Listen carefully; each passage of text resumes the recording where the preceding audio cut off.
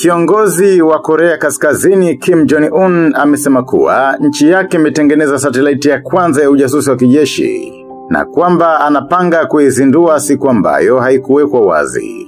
Majaribio ya siku za nyuma yameonyesha kuwa nchi hiyo ina uwezo wa kupeleka satelaiti angani, lakini wataalamu wanatilia shaka ikiwa inao wataalamu wa kuunda kamera zenye ufanisi wa kiwango cha ujasusi. Ikizingatiwa kuwa picha zilizotoka na majaribio ya awali hazikuwa na ubora wa kuridhisha. Akitembelea kituo cha utafiti wa anga za mbali cha nchi yake. Kim alinukuliwa na shirika la habari la serikali KCNA akisema kuwa satelaiti yenye uwezo wa kufanya ujasusi wa kijeshi ni muhimu kwa nchi yake kuweza kutumia makombora yake maalum kwa ajili ya kubeba vichwa vya nyuklia.